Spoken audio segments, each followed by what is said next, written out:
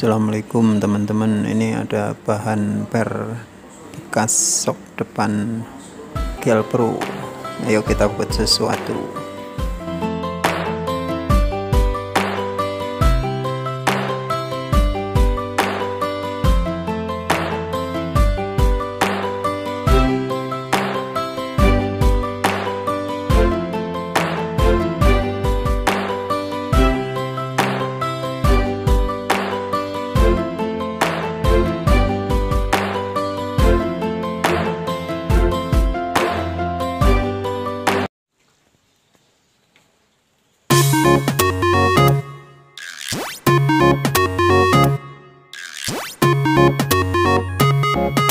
you